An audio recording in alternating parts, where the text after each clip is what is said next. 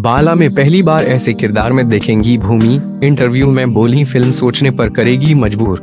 अपनी हर फ़िल्म में एक नए किरदार में खुद को ढालने की अभिनेत्री भूमि पेडनेकर की अब तक की कोशिशों को हर बार सराहना मिली है।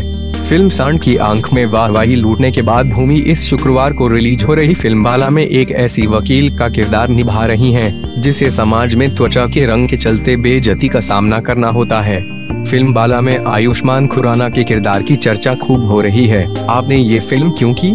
हर चीज़ में कोई न कोई नुक्स निकालने वाले समाज में आत्मसम्मान और खुद से प्रेम कितना महत्वपूर्ण है, यही ये फ़िल्म बताती है।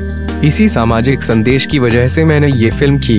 अपनी पहली फ़िल्म से ही मुझे एहसास हुआ कि जिस तरह के सिनेमा का हिसाब बनना मैं पसंद करती हूँ, वे हम मनोरंजित होना चाहिए।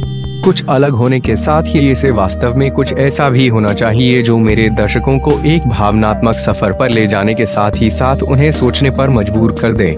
इस किरदार की समाज से क्या लड़ाई है?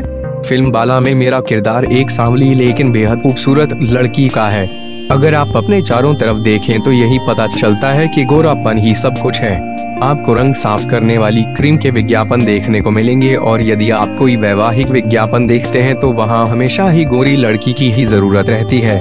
उन्हें एक पतली, लंबी और स्वाभाविक रूप से गोरी लड़की की ज़रूरत होती है। ये किरदार सांवले या गहरे रंग के प्रति समाज में व्याप्त इस उछी मानसिकता से लड़ना चाहता है। मेरा किरदार लतिका, एक अनाथ है जो अपनी चाची के साथ रहती है। उसकी चाची काफ़ी खुले विचारों वाली महिला है, लेकिन मुझे लगता है कि लतिका सिर्फ़ आत्मविश्वास से भरी एक लड़की है, जो हमेशा अपने बचाव की मुद्रा में ही रहती है। सुंदरता को लेकर समाज ने जो मानक निर्धारित किए हैं, उनके बारे में आपका क्या कहना है?